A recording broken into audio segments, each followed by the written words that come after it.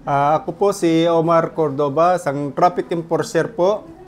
May nag-iwan po sa amin sa aming posting dito sa Mayrilo na isang report on attendance bilang na card, College of Research and Technology.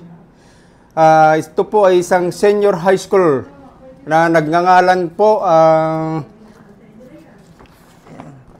John Paul A. Asarcon, taga San Antonio, Kuya po, Nueva Ecija po. Ang palagay ko po to ay nag-enroll po ito sa CRT.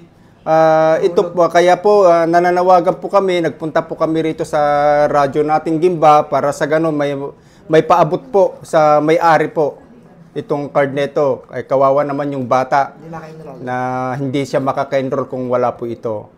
Ngayon po, ah, kaya po kami nagpunta rito at pupunta po kami ulit sa CRT at tatanungin namin doon kung itong batang na ito ay nakapag-enroll po doon.